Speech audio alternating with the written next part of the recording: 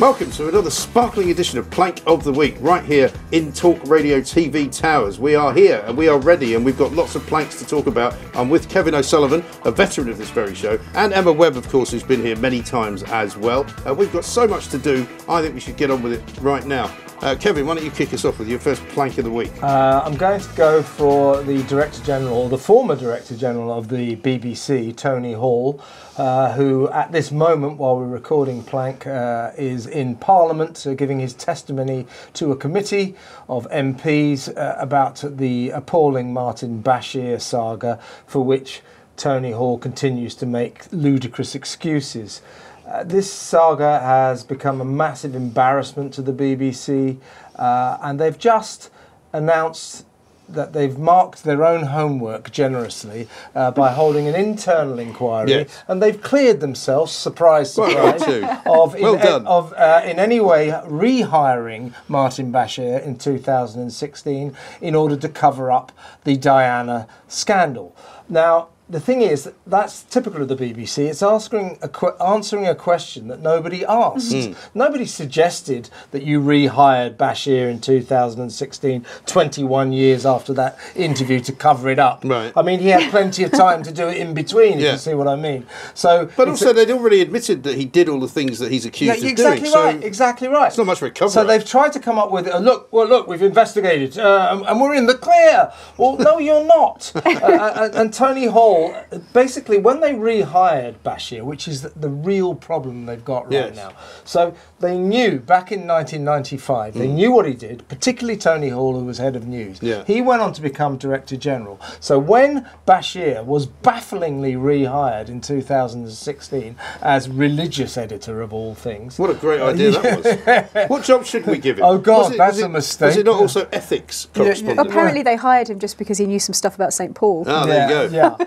Uh, so the, the big question, documents. no, the big question is why did you rehire him? You knew the nefarious techniques he used to ensnare Diana into that interview, and 21 years later, you rehire him, even though you knew that he faked those documents. You knew he used underhand psychological techniques. You knew everything that he did. Tony Hall knew this. Uh, their story is, oh well, the news re- department rehired him, and the director general didn't really know about it. Rubbish. yeah? Absolute rubbish. Isn't there some story doing the rounds that he actually recommended him, and when he was asked effectively for a sort of verbal reference, that he said he was a very reliable well, man? that was yeah, that was his original his Very original reliable at getting his original investigation back in 1996 when these allegations first uh, arose, uh, which found.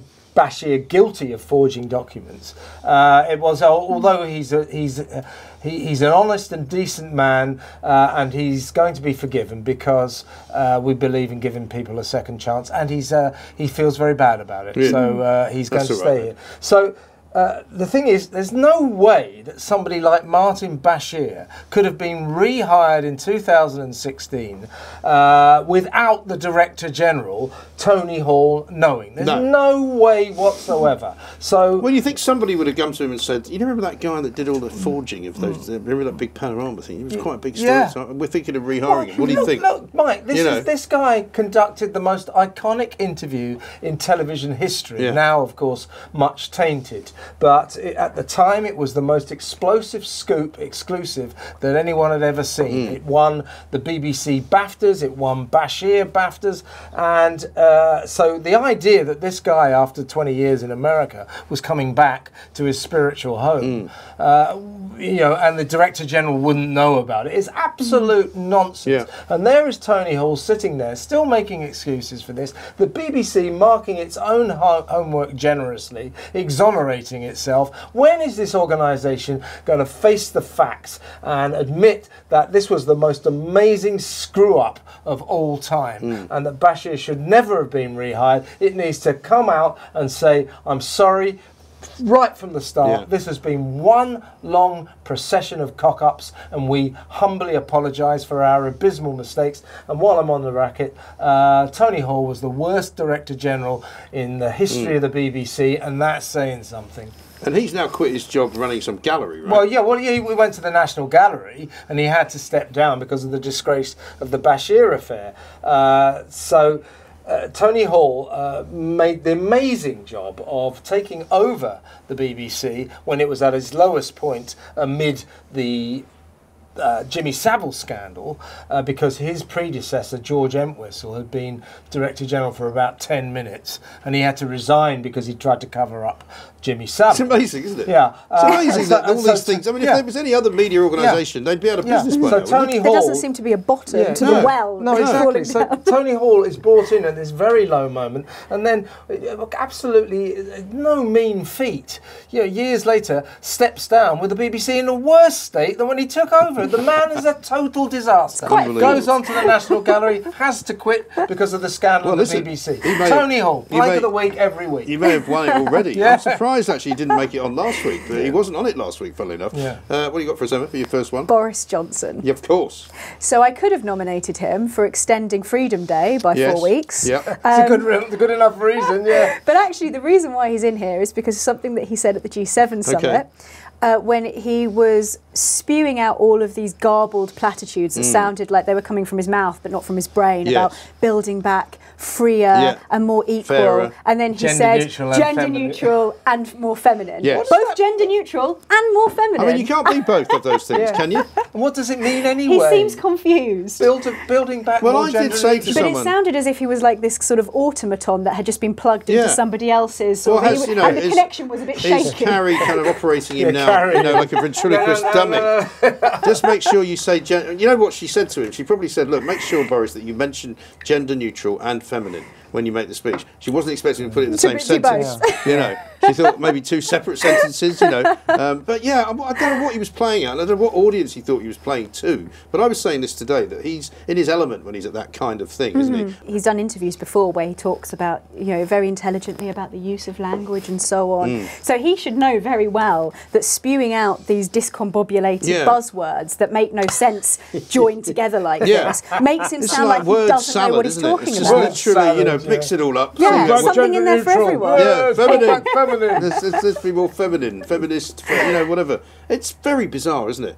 But he should also be, I mean, nominated definitely for this nonsense that he's doing this week in, in particular, Mm-hmm. uh, where, you know, let's not forget, they told people who had to come back early from their holidays in Portugal that that was to save June the 21st. Yeah. That was the reason. They said There we need to ensure something. that the domestic, um, you know, unlocking happens. Mm-hmm. And now it's not happening. So I have no faith On what, whatsoever. on what grounds will they ever think that it's justified to lift lockdown? Most people are past caring. Well, you know, they, they, want really their are. lives they back. actually They are. want their the last, lives and I'm going to move on to mine now because it sort of sachets through into it. Chris Whitty. He's literally a guy who doesn't see any good in anything. You know, I said to somebody the other day, he was just sitting on a train journey with this guy. He would just be li- literally sitting there whispering in your ear.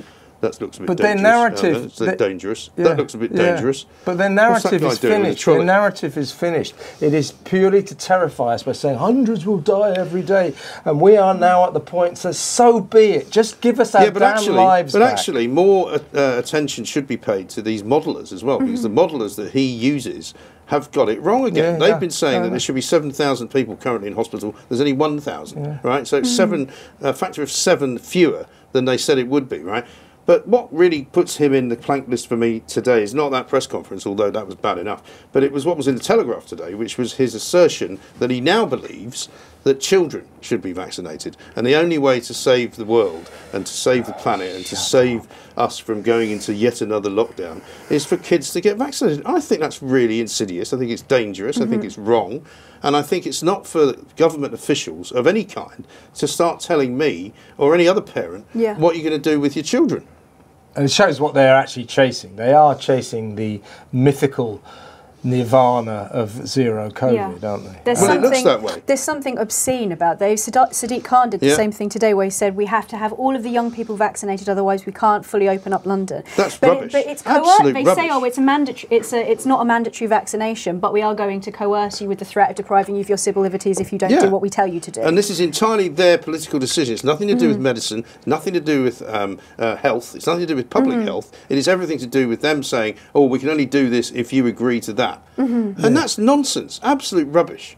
You know, and I think it, and I think it, and it because people have been quite sort of um, willing to to go along with things, and because they've been quite willing um, to do what they've been asked to do. I think we have reached the point, as Kevin said, um, that people are just going to start to say, no, we're not doing that. Yeah. And I don't think if we don't start saying no, you know, you never know where this is going to end. You know, Yeah, what are you going to do next? You're going to say, right, okay, you've, you've had your children vaccinated. You know, now you're going to get uh, another vaccination next year in order booster. to get a booster, or you know, uh, we still don't really know for sure whether there might be another variant coming, or there might be another, you know, disease coming that you're going to have to be vaccinated against. Or else, you know, they're creating a, a sort of a narrative here where we have lost total control of our own mm-hmm. lives. Yeah, yeah, yeah. It's so unhealthy. It's Yeah. almost like a kind of. You can imagine somebody who is, you know, has some kind of, or, or almost is psychologically disturbed, being so obsessed with zero COVID. Every single person Mm. Right. in the world must be vaccinated. Well, you can't vaccinate every single person in the world without undermining bo- bodily autonomy. People should have a choice whether or not they want Well, to also, be vaccinated it's a or their ridiculous children should be idea. I mean, you just simply cannot do it. I mean, if you're going to go to places like China, uh, you're going to go to places like India, you know, you don't even know how many people live Mm-hmm. in India. How are you going to vaccinate everybody? You have no idea how to, how to do that. And it's all just more kind of, you know, um, These virtue guys- signalling and posturing and trying to look good. These guys, these guys. Uh, I mean, it's definitely uh, some of them. uh, they- they just they enjoy playing pandemic because it puts them in a position of power. Yeah. It gets them on the telly. Uh, people are listening to them. Uh, I think millions and millions of people in this country we're sick of playing pandemic. We want to get back to Exactly. normal. I That's don't know. certainly how it Had seems enough. when you I see mean, I Matt think I don't know about you guys, but I think next Monday is going to be very interesting indeed because people are going to be like they were yesterday, out on the streets, probably demonstrating. Mm-hmm. But I mean, I worry that it could turn pretty nasty and pretty ugly because you know there are two groups of people in this country now: the ones who think. Never mind, we're just going to do what we want, and the ones who want Mm-hmm. to stop them doing what they want. Boris is going to have a big compliance problem. Yeah, Well, the, the, the news last week that 80% of peop of adults in England have antibodies, Mm. and that includes people under 35 who are not vaccinated. Right. Um, you know, p- even people who have been compliant and have been pro all of the different public health Yeah. policies will see that and think, hang on a minute. This doesn't make any sense because people have invested huge amounts of money in getting their businesses ready Mm. to open on June the 21st. Those are, you know, places like nightclubs, theatres Yeah. that will literally go bust Yeah, because they've invested all their money in being ready for that one deadline Mm. Yeah. just for the goalpost to be shifted again. I think that that, that is what will turn public opinion. I don't think people will because there's only so many times you can tell people, "Oh, it's going to be all right in a couple of weeks." I mean, they've been doing it now for what, nearly eighteen months. I just don't think they're going to get away It's with it. anymore. It's awful. Kevin, who's your next one? Uh, I'm going to go for the England, uh, the woke England football manager Gareth Oh, yes. Southgate, whose addiction to uh, footballers grovelling to Black Lives Matter is inexplicable. Yeah. You know, I have no problem with footballers if they really want to make gestures in support uh, of opposing racism. We all oppose racism. If they want to do something, if they must, if they think that's going to make the world a better place or in any way affect the problem of racism, by by all means, go ahead take a knee, whatever you want to do, uh, but do not affiliate it to Black Lives Matter. Black Lives Matter, as is always being said, is an extremist political organisation that stands for smashing capitalism, destroying the nuclear family, and defunding the police. That's what He's the- trying to make out that's not what it is, though, isn't it? well, but it is. It is, as I say, by all means, if you must virtue signal about your opposition to racism, do so, but not to Black Lives Yeah. Matter. What we are seeing is professional footballers grovelling on their knees to a ludicrous political organisation from America. Why are they doing Yeah. it? And why doesn't Gareth Southgate, who's supposed to be the intelligent man of football, one of football's thinkers, uh, why doesn't he understand that? I mean, usually if you're very intelligent in football, it means you nearly pass your 11 plus, and that's about it. Uh, and Gareth Southgate's no exception.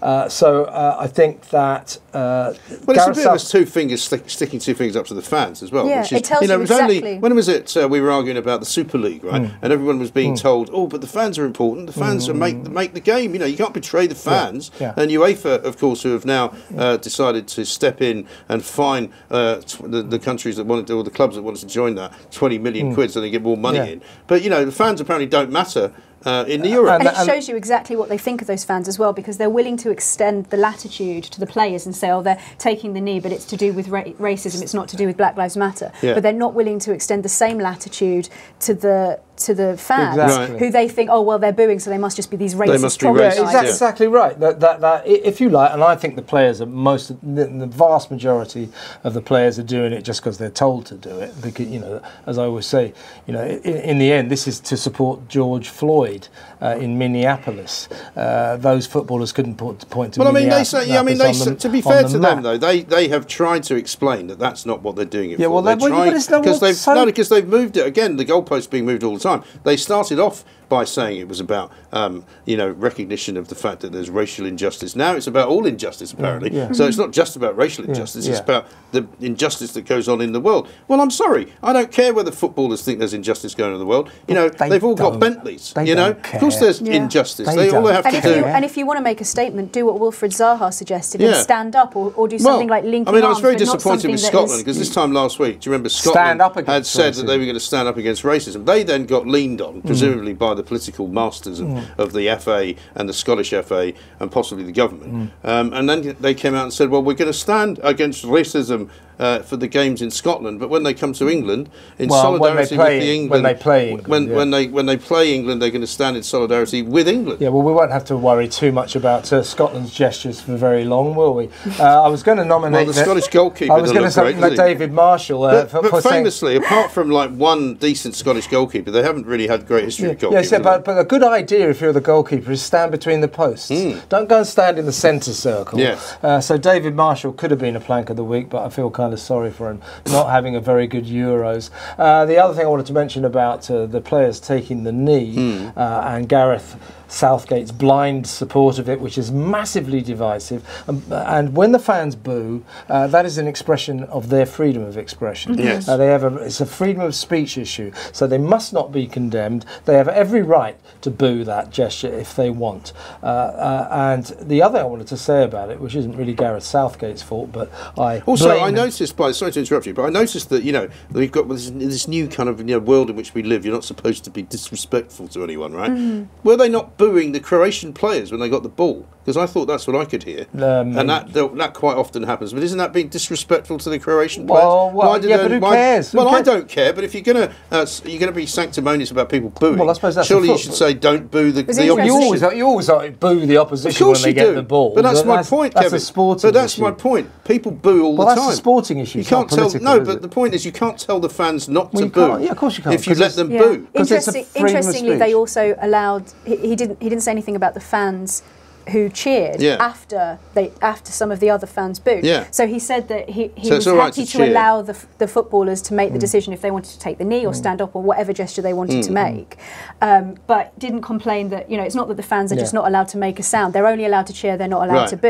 exactly. If you're going to allow the players to take the knee or to make any kind of gesture that they Mm. wanted to have their Mm-hmm. freedom of expression, you have to allow the fans course. to be able to express themselves if they want to cheer or if they want to Yeah. boo. And the la- last thing to say about this, uh, uh, well, again, this isn't quite Gareth Southgate's fault, but I blame him for persisting with this ludicrous ritual which has been so divisive and cast a shadow over the Euros. He should have just said, all right, we won't do it, or we'll do it to Or kick we'll it do a out. We'll do it to kick it Yeah. out, not to Black Yeah. Lives Matter. It's quite easy to get out of, but he has obviously hasn't got the intellectual capacity No. to do it. But when that moment unfolded, the thing that everybody had been talking about all week, the big story, uh, England would take the knee, uh, would the fans boo? England took the knee for about three nanoseconds and stood. It was straight. very quick, Yeah, wasn't yeah. it? It was a then, I thought it was quicker than yeah, normal. and then and oh, they did it really quickly. Yeah. They're obviously told, "Look, get, get it rid of was a that gen- it was a genuflection, Yeah, wasn't yeah. it? It wasn't, you know. and then and then uh, I remember those and- days. And, then the fans booed,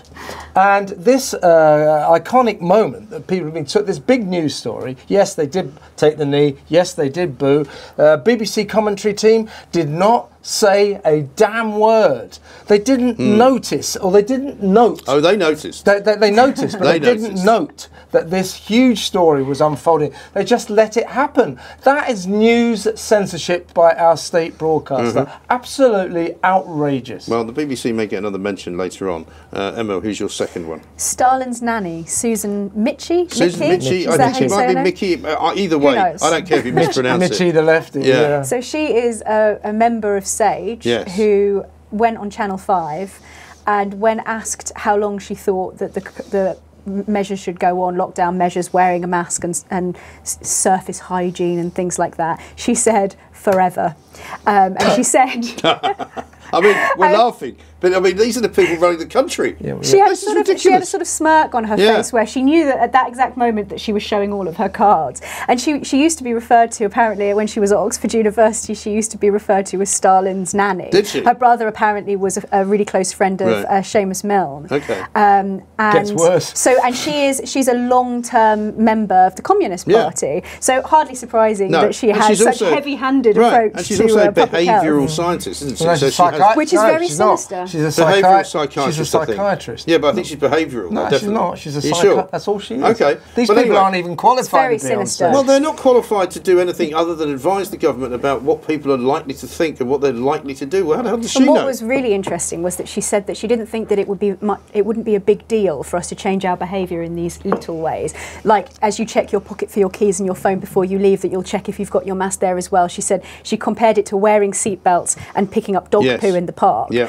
She said that um, it would help with other diseases as well, but then she said the next thing around the corner is environmental disaster. Yeah. So we're going in the direction So- of climate change as we But this predicted. is my point. You know, this is why we have to make sure that we put some kind of stopper into the into the dam, because otherwise these people won't give up. Yeah. They'll be There will trying always to do. be something. They'll, they've had There'll so always much be another success with this disease. That they will think they can do anything they want. Uh, So put the case that uh, this lifelong devoted member of the Communist Party is proposing plans that would destabilise capitalist Britain. Hmm. Uh, what on earth is a staunch communist doing on this important government advisory Hmm. board? It's an outrage. I know it really is, and I mean, I'd love to know what she was doing before this particular incarnation on Sage because I don't really know. I'm assuming she was just some sort of, you know, slightly um, foggy um, academic who was occasionally asked to write something for a newspaper or come up with some kind of study or do some kind of paper for for a, you know a psychiatric conference or something. But I wonder what she's been doing for her entire career to give her the right to be sitting on this committee, telling us all how to live. It's interesting as well if you remember when Neil Ferguson said that Yeah. they that they hadn't thought that the that the uh, people of this country would behave in as a compl- in, in as a compliant way Yeah. as pe- people in Mm. Right. Asian countries. And they were surprised, and they weren't were they? pleasantly surprised Yeah. that w- once they you know dipped their toe in and tested the waters that we were all so Right. compliant. And he's But the you can s- guy who literally has got nothing right in his entire career. Every single prediction he's made hasn't come true. It's pretty good between the sheets. Well, according to his German uh, lover, but I don't know whether that's still going on. But yeah, Boris Johnson said that. It's He's- good enough to get on the Radio 4 Today programme about once a week. They always get him on. I know. Boris Johnson said that about. He said that uh, he'd learnt uh, that the British people were surprisingly easy. It was pr- surprisingly easy to take freedom away from Mm. the British people. Much more uh, easy than he'd thought. But Mm. it's very difficult to give it back to them. Well, he doesn't want to give it back. Well, Clearly. he's not giving them back. You know, is he? We- I mean, we which need- brings me to the G7 because um, you mentioned it earlier on when we were talking about Boris Johnson. All of these people, it struck me when I was watching them at the weekend, you know, from Macron to, uh, to von der Leyen to uh, Joe Biden, they're all paid by us, right? Every single one of them. We bankroll everything that they do. You know, their salaries are paid by us. Uh, Air Force One is paid for by the American taxpayer. You know, every single taxpayer in the world was paying for that jolly down in Carbis Bay, which turns out to be some kind of childhood holiday destination that Stanley Boris, Boris, and yeah. Stanley used to go to, or Stanley used to go to. I mean, kids, it's yeah. all a bit kind of twee, you know. And and I just thought to myself, watching them, all cavorting around with one another without a care in the world. They clearly, as I said, were not concerned about getting COVID. They weren't concerned about spreading COVID. They were concerned about looking like they're all having a the fabulous proles time. in the background with their masks Yeah, on. I mean, all the other people. they weren't- they didn't have wearing, masks on, Yeah, but did they didn't have masks Only- on. only the people they, who were you know, serving they have a barbecue, Shaking hands, they had a- they were hugging, arms See how around each other. Macron and, Yeah. and Biden were almost embracing. Yeah. Well, they did. Yeah, they did. But you know, it just I found it quite sickening watching them all really, and I, I don't really know what the G7 uh, is for. And on this particular occasion, this meeting, I don't think anything actually came out of it at all. Yeah. I don't remember Other there than, the, being. other than the What fact is it that called? Biden is the Queen reminds Biden of his mother. That was the main yeah, thing well, that she must have have. come out. What, of it. so the Queen's 193 years old, is she, for God's sake? Well, I said to somebody the other day, um, you know, the Queen's the oldest person Biden's met. Yeah. Uh, he's never met anybody older than himself. Well, the, Queen, the, Que- the Queen was thrilled to meet someone younger than Yeah, her. absolutely right. But you know, I just find it sort of, you know, the kind of like it's not, you know, I'm, I'm all for laughing and joking. I'm all for having fun, but this is not really the time. You know, It's a You're bad all, They've all flown in on private jets to tell us about saving the climate. One, Yeah. two. Uh, they go out and they go to the Eden Project and all pretend to care about the environment when you know everybody knows America is probably the biggest polluter in the entire world. It ain't going to change anytime soon. I mean, I did Joe Biden I think it's the third biggest. he thinks he thinks that um, you know Americans are going to give up their cars. Really? I mean, Kevin and I both lived there. They ain't giving up their cars. you know, any any sooner than giving up their beer. their- and, petrol and and, guns beer. and you guns. never touch that in America. You know, they're not going to give up their, their guns either. Um, you know, they're not going to change just because Joe Biden thinks they should. And you know, I just don't understand. I mean, they didn't even really come out with much of a declaration on all But of that. look at them! Look at them! They all, uh, uh, particularly Joe Biden, who flew from London uh, to Cornwall and then back from Cornwall to London to meet the Queen Yeah. on that massive, Force on massive, great Air Force One, while lecturing us about climate Yeah. change. Someone needs to do a Go little calculation on that. Go shove it, you No, I old know. hypocrite! I know exactly, but also how much money did it cost? I know there's six thousand police down there, right, who were all living on a cruise ship, Yeah. which was parked off to the coast. Normally they have twenty in Carbis Bay. Mm. Six thousand police. Great for the ocean. And I mean, we're all, we're all being told how uh, awful it is to uh, to try and give the uh, police any work to do because there aren't enough of them. Well, they found 6,000 of them to go to Carbis Bay and Cornwall. Mind you, they did get seriously punished for that barbecue on the beach. They were regaled by a concert of sea shanties.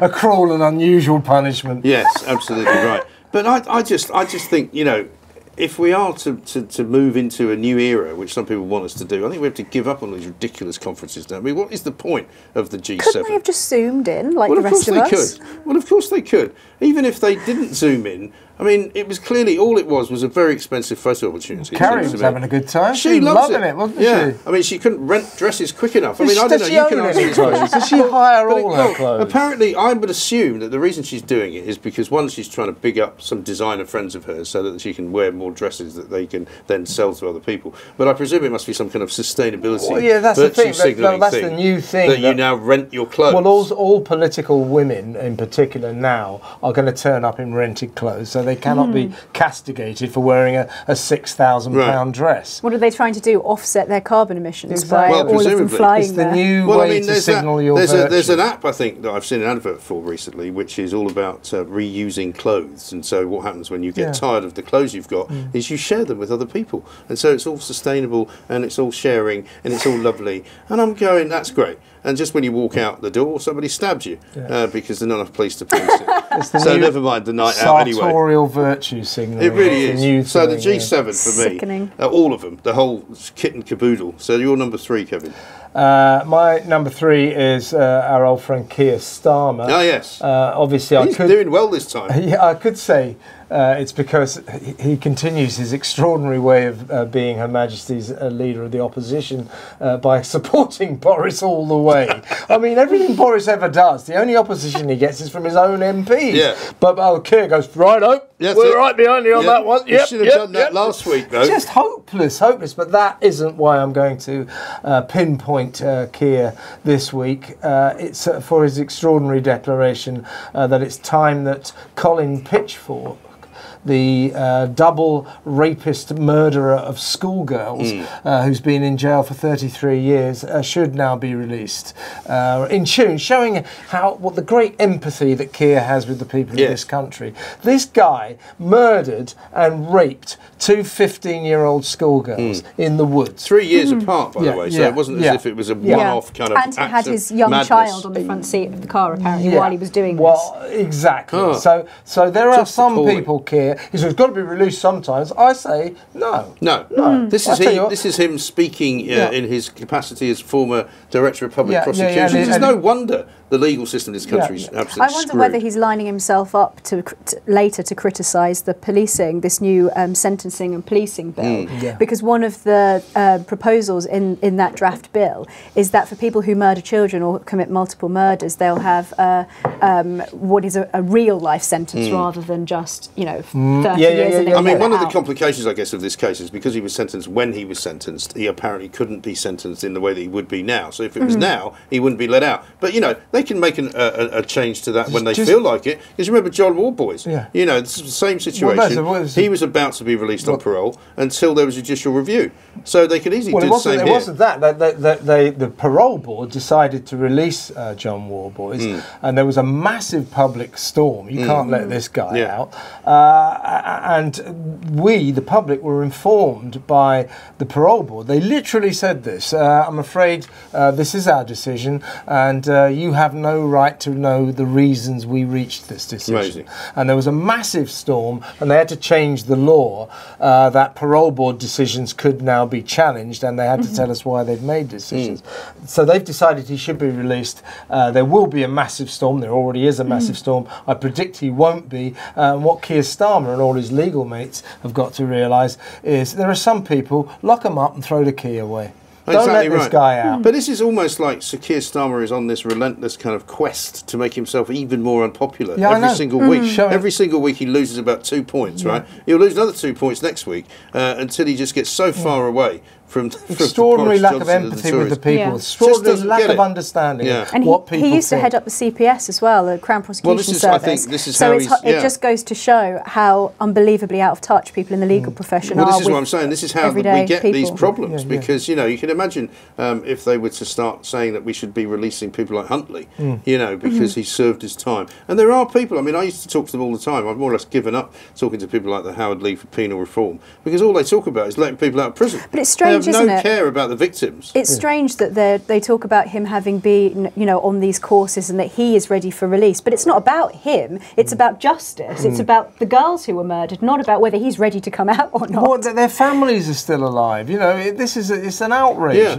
and, and, their families have already spoken out and said how terrible this is Yeah, going to be yeah, for yeah, them yeah. because it's going to bring it all back. And Thirty He's going to be years is really around. not a great deal of 33, time for two 33 mur- years, he should just stay there. And, and Keir Starmer, as a politician, as a leading politician, should understand, you know, if that's what he really thinks, this guy should be let out, just keep quiet Yeah. about it, Keir, because it's not going to do you, any know, good. let's- you know, we can't rehearse all of the arguments obviously here, but you know, in the end, of what benefit is releasing this guy I to know, anyone apart from to him? exactly, He's the only one that's benefiting. Nobody else is. Exactly. He's still capable of committing those crimes again. Yeah. He's not, as far as I'm concerned, safe because I don't believe do you if you, you know, can do you know that, what he is? He's, six, he's 61 years Yeah. old. That means sexually active. Yeah. This guy will be a clear and present danger. Definitely. And, and it's no wonder, backing the release of the likes of Colin Pitchfork, that Keir Starmer is now officially, in terms of the polls, less su- successful and less supported Hmm. as Labour leader than Jeremy Corbyn. He's worse, It's amazing, isn't? It's officially quite- worse it's quite than an achievement, Corbyn. that, What are they mean, you should doing with that? Get rid of him. Yeah. Get rid Angela of him. Rayner, of course, is not much better. I mean, she popping up on your earlier Gareth Southgate argument. She also issued a statement, didn't she, Yeah. saying that all people who boo uh, the players of taking the knee are racist. I mean, that was it. There was no room It's for any sort of true, is nuance, no room for The any party of the argument. people. it's definitely the party of the people. You're kind of going. That'll be why Yeah, they- people don't vote these for are you. your these are your voters, Keir and Angela, that you're calling racists. These are Labour voters, uh, potentially on the terraces, that you say you're racist if you booed uh, footballers grovelling to Black Lives Matter. No, they're not. You just They're know not. that if, if the players linked arms in opposition to discrimination, Yeah. then the players would not boo there would not because be any it's booing. not associated no, they with Black wouldn't Lives know. Matter. It would be absolutely fine because that's what Millwall did and that's what happened. They, They- didn't boo. These idiots, uh, Starmer, Rayner, and the likes thereof, they cannot divorce themselves from their addiction to identity politics. Identity politics means nothing to those guys on the terraces. It means nothing to the people in the red wall states, uh, uh, um, uh, constituencies, uh, and yet on they go. Don't boo! Don't boo! t- you know, identity, kind. culture Be kind. The trans. Be kind. Yeah, they are, it's just useless. I know. Useless. So, Emma, your third one? My third is Comedy Central. Oh, yes. Um, I imagine that this is probably not as well known as the other planks this week. No, Um, this is definitely coming from slightly left field, I would say. So, But what you might is- call a minority Good, good thing channel. too. Good thing too. Yeah. Uh, so there is a, a lady called Thanyia Moore, who is Yeah. apparently a comedian. I've never heard of her. Um, who she did this quiz on Comedy Central, this sort of skit about Dominic Cummings and Boris Johnson, and how Bo- Dominic Cummings had made this statement saying that it was absolutely crackers Mm. that. Um, Boris Johnson and Dominic Cummings were in the positions Yeah. that they were in during the pandemic. Uh, she then went on to say that she thought that it were that him using the phrase she said something along the lines of a cracker using the term crackers make, drives her to talk crackers, about another cracker. something like yeah, that. cracker, of course, is the word they use really in America more than here, isn't it? For white for people. white people in the South. Yeah. So it was a kind very of generally kind It's of a racist of- term. It would it would definitely be a racist term in America. For it was sure. it was a very very strange little skit, and then she went on to do this quiz Hmm. um, that was entitled "How White Man Are You, Man?" Um, How so hilarious. I thought I would test you Why not, on some of the questions that she this asked. Comedy Central channel goes out on sort of what free? she's It's not a got- free view, no, is yeah, it? Yeah, it's got its own Is it? Yeah, I don't yeah, think I've. it's I mean, there. I, I've seen Comedy Central in It's America. there. I've never seen it here. No, it's there. It was a very, It's very, there. very strange skit, and they had um, these women at the end blowing sort of, you know, the sort of party horn things Oh, and trying to do party poppers and looking like they were all sort of stupid. It was a very, very strange, Very weird. I mean, imagine if you strange pr- sketch. proposed doing that, except not about white people. It, it just wasn't comedy. No. Uh, but it, it was just. I mean, she was saying that it, she, that Dominic Cummings, because of what he'd said, was it was the most she'd ever been attracted to a white Mm. man. Um, very, very odd. Anyway, so she uh, in in How White Man Are You Man? Yes. She asked. Um, amongst the questions were, do you walk into a room and feel like you belong in that room and should be leading that room? Yes. Sure, yeah, All the time. hundred percent. All the time. Do you look at a picture of Jesus and instantly recognise similarities between the two of you? No, not in that case. What about you, Kevin? Kevin? Uh, yeah, I do. Yeah, Yeah. All the time. very much. Yes. Um, It's the how like- glasses. this is this is definitely one for the two of you.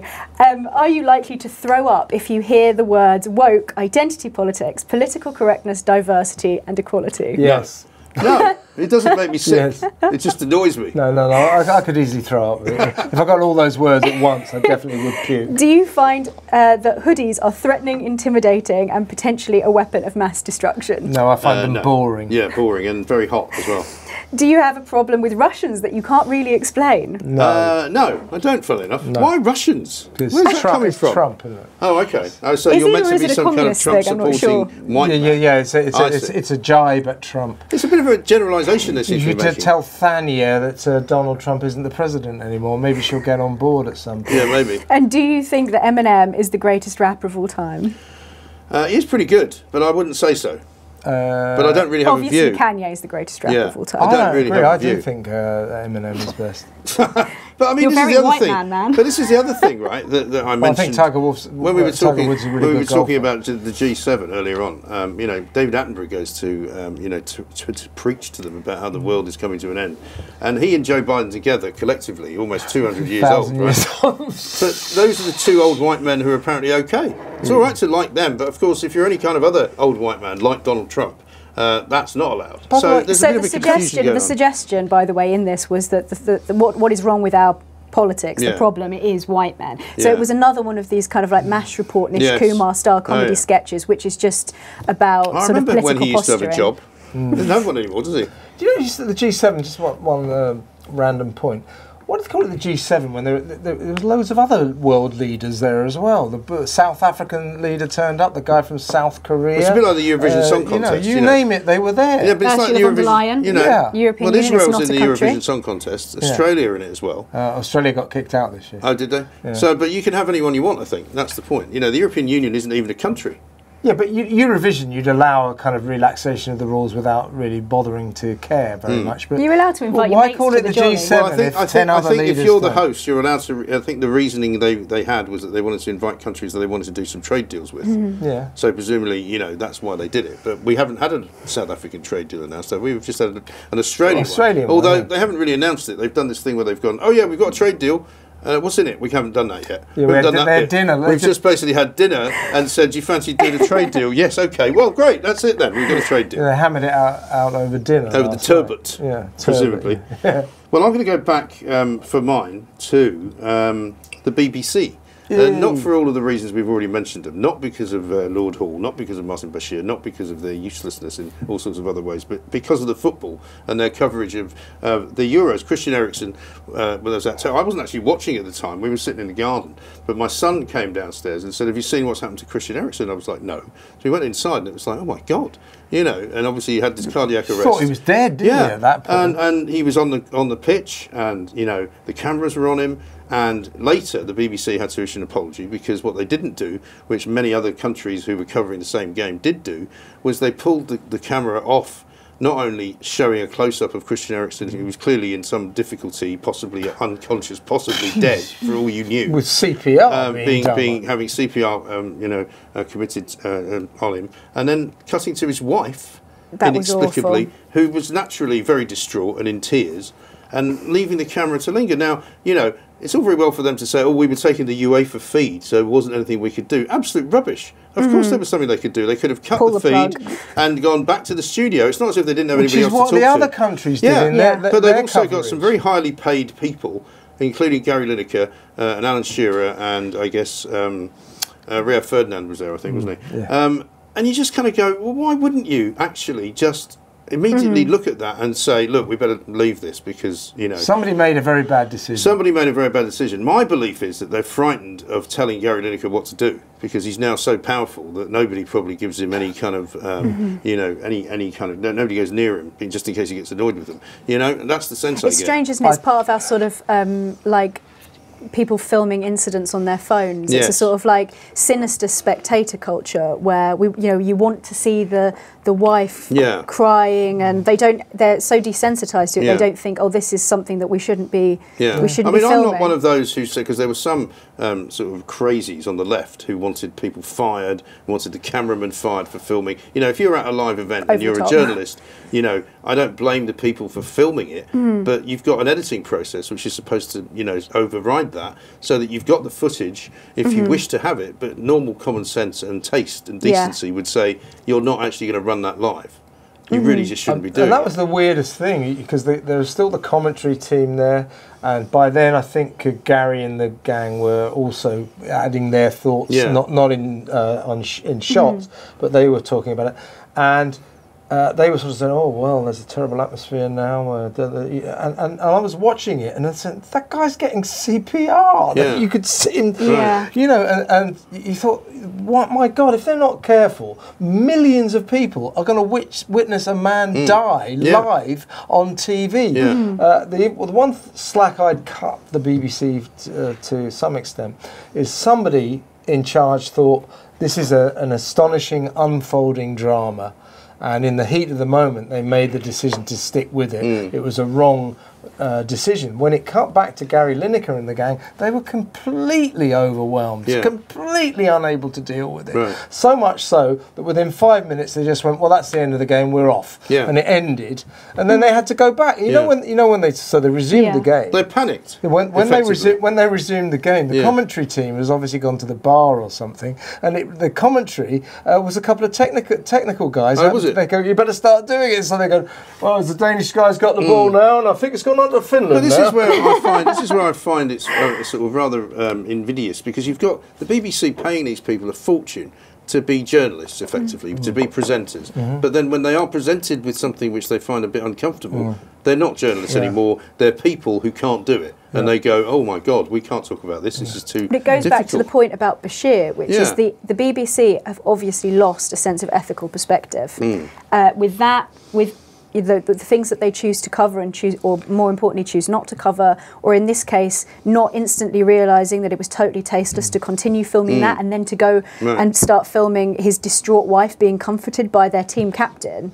Um, you know, you would think that instinctively, as any viewer would instinctively think, is, oh my God, you should not be filming this. Yes, absolutely right. And and again, their excuse and their apology was not quite the full ticket because they claimed that they were just taking the feed as if that's an excuse. Yeah, it's not. because all the other countries cut it off. Yeah. and, and uh, Ian Wright. Uh, Ian Wright, who works for ITV on yeah, this one. he he he, uh, he tweeted, "Cut to studio Yeah. FFS!" Yes. exclamation mark. You know. Well, Well, you can still was- you can still choose to if, if you're using someone else's feed, you can still choose to stop using it. Yes, exactly. Well, well, this something is what everybody else did. Yeah. It's a central pool. It's That's not- the point. You know, but you know, decisions were, were not made that should have been made. Well, and it- and I think what, and I said this actually the weekend that if they haven't got some kind of protocol for this kind of thing, they need to get one. Yeah. Because Yeah. if you've got a director or a producer who doesn't know how to make that decision. You should give them a piece of paper that says, if this happens, you do that. And, Yeah. and if they haven't got that, I'd be astonished. As I said earlier, the other decision that they'd obviously made prior to the occasion was we will not mention the fans booing Yeah. taking the knee, Right. uh, which is outrageous news censorship Mm. by our increasingly dictatorial state broadcaster But doesn't that have that its- has its own moral matrix. Yeah, yeah. They've invented their own moral system. They will, uh, in the end, you know, what will probably happen about this feed that they kept running uh, erroneously, uh, you know, deputy heads will roll, but they'll come up with some sort of moral reason why it was okay. They, they, they are, uh, they sort of beatify themselves. They, uh, they see themselves as always saintly and always Yeah. in the right, no And matter always what. right, But they yeah. also always taking someone else's lead. So in that instance, they were taking Gareth Southgate's lead because he said that the players would just continue Yeah, to take yeah, the knee yeah, and ignore the crowds and just keep going with it. So they obviously thought, well, you know, We'll the that captain then. has said that, You so we'll just let them do it and we'll ignore if the Yeah. fans Do that, that's news. That's journalism. You can't do that. Now we haven't yet carried over from last week because obviously um, we do one. Uh, we, we've got nine now, which we'll whittle down to three in a minute. I think I'm going to have to do Prince Harry again. Uh, because as much as uh, we try not to keep ha- Meghan and Harry in every single week, today's story. I mean, let's he face done it, now? Well, last last week the he Duke was and Duchess of PR disasters. last week. Last week he was in because he said he was going on five months paternity leave, right? Parental leave, as Five he calls it. months? Five months parental For leave. what? Except on the first Lecturing day. us. Except on the first day of his parental leave, um, he basically uh, decided to complain to the BBC about the fact that they were now um, uh, going to be sued uh, by him and Megs uh, on the grounds that they'd done a story that wasn't true, which now turns out to be slightly not necessarily the case. This week, um, he's apparently uh, he and um, he and Megs have been trying to get a meeting uh, with the woman who's the agent for the Pussycat Dolls, right? Because uh, they did very well for what's her name, Scherzinger, Nicole Scherzinger, Yeah. um, to, to get a, a yogurt commercial and various other commercial deals. got her onto Strictly or got her onto. Um, So they, yeah. yeah, so they're now looking for more sponsorship cheap. opportunities because they haven't made enough money yet from Spotify and Netflix, and so apparently they class think that. whatsoever. Can you imagine if they start doing adverts? It's not bad though, is it? Okay, you can imagine Meghan doing one of those yogurt commercials. Have you seen? Sort of like have you ever seen the uh, the burger video that she did? have you not seen that? This you've got to see. I'll have to show it to you. Something she did for a, for, for a men's magazine some years back. You know, it was like something like G. It wasn't GQ, but it's something a bit tackier than GQ. And she's literally wearing hot pants and hardly um, very a very skimpy top, She- and she's very suggestively used to doing flipping No burgers Deal. and doing all this kind of you know stuff. and you just kind of going, oh god. Don't forget, she got- was she was a hostess on the American Deal Yeah. or No Deal. in Oh, yeah. similar I mean, you know, we're not talking about sort of Meryl Streep here in Hmm. terms you know of her her acting book, her career. children's book, The Bench. yes. Oh, Uh, do you the know? reviews do you know? for do you know? So brutal. apparently, she there's a suggestion she got a five hundred thousand pound advance for that. It's it's one hundred and eighty six words, Oh, apparently someone said that you could. 39 lines. Brilliant. Apparently, you could write all of the words She's a- she uses in the book. Listen, the vocabulary is so listen, limited you, onto you, your you hand. can't have anything but admiration for her commercial activity. Yeah, half a million You know. quid for for 186 words. 186 words is about three paragraphs. well, apparently, as well, it reads as Imagine if if I it's written paid at for. that rate. I'd be literally on a boat off the Yeah, coast of Monaco, broadcasting from. Uh, You've gotta hand it to her, Broadcasting actually, from? Monte Carlo. Yeah, absolutely. So I mean, she's very good at that. Queen but I Queen just think there are certain things that old Hazza should learn to stay away Mm-hmm. from. And actually, another reason that's good to carry him over this week is because of the whole PR disaster surrounding the name Lilibet. Yes. Um, that they complained to the BBC, and um, the, B- that the, the because the BBC source that was a palace source said that they hadn't asked the Queen for permission; they'd simply informed her. They then complained, threatening legal Yes. action that they had um, defamed them by by reporting from this palace source, um, and the palace, aka the Queen, has actually not come out saying no, my grandson is right. Yes. Um, so.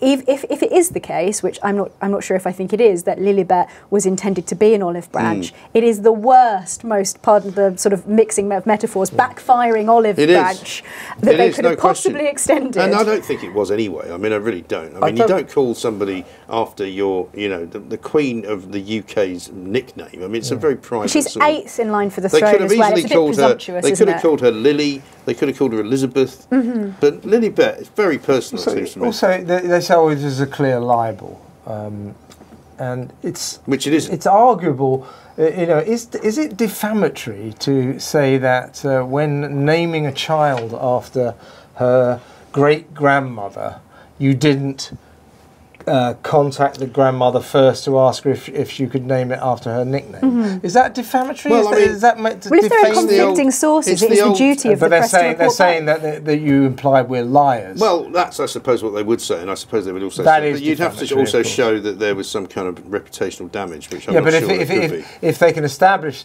that the BBC was lying, uh, But they haven't the- asked for. No, they haven't suggested that. They've suggested that Well, they did palace at first. No, they didn't did. know. No, they did suggest that, that their, their, their uh, letter to the BBC said you've called us liars, and that is clearly defamatory. Well, no, they've inferred that. But what I'm saying is they No, haven't said the BBC was lying. They've said the BBC spoke to someone who didn't know that they'd spoken to the Queen. That's what they're But doing. if they hadn't have sent the letter, no one would have noticed that they- there was a they conflict said- there they, anyway. They actually say that, that, that, that it's clearly defamatory to suggest that. that yes, that- no, I know that. Yeah. But but what I'm saying is, is they're not. They're, Well, they're an railing, interest- railing back on it because the argument now revolves around uh, that there's a difference between asking Yeah. uh, the Queen And telling. if we can name the kid after your childhood nickname or just telling. Or just doing it. Yeah, yeah, exactly that right. just doing it. Yeah. Okay, right. So we've got nine. We need to get them down to three.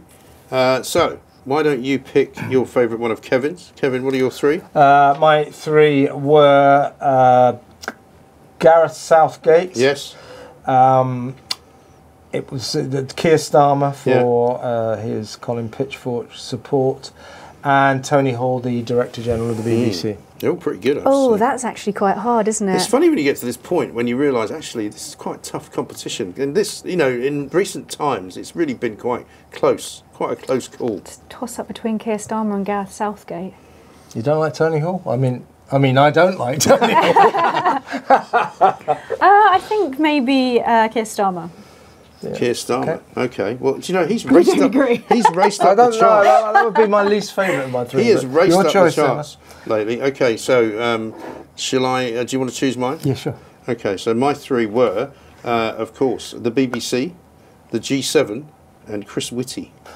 Um, because Tony Hall got away with it in my selection, uh, uh, and also because I think it's a very good choice by you, I'm going to go for the BBC, and we can incorporate everything about. Yes, their- and then that sort of captures it all, doesn't it? yeah. So that sort of gives you uh, Lord Hall as well. Yeah. Um, right, so um, you now need to pick. Oh, no, I need to pick yours, don't I? Uh, Boris Johnson, Yes. Susan, Mitchie, Mickey, Stalin's Yes. nanny, or Comedy Central. I sort of want it to be Boris, really. Kind of has to be Boris, doesn't it? I think this might be the first time Boris and Keir Starmer have been in the top three. but I think it has to be Boris because he's, he's taken our freedoms away. He's, he's had, sort of dangled them in front of us and then taken them away Yeah. again. Plus all that other nonsense about feminine gender neutrality. I think it's got to be Boris. So we've got Boris Johnson, Sir Keir Starmer, and the BBC. Very traditional planks Yes. this week. So who's it going to who's it going to be for the number one? um, you know, I mean, I, I think given, for me, not my decision, of course, but for me, given the week we're going through and given what Boris has done, uh, what with not only building back neutral and building back feminine, uh, but also taking our freedoms away for another. It's got to be Boris, isn't it? Really? I think he I does. think Boris as well. I think Unanimous. He's, I think he's the unanimous winner, isn't he? Yeah, yeah. Um, and we'll give. Um, I guess we'll give the BBC number two, shall we, just to split them up? Yeah. Start with number three. Yep. Sure. I think that That's fits. good, that's That good. Opposite sides of the works for playground. so list. congratulations, Boris Johnson, the Prime Minister. Uh, you've managed to make a complete and utter uh, dog's breakfast, for want of a better phrase, uh, of the economy, uh, of the reopening, uh, and of the now uh, treatment of the virus, which has almost disappeared. Boris Johnson, plank of the week. Well done. We'll see you next time.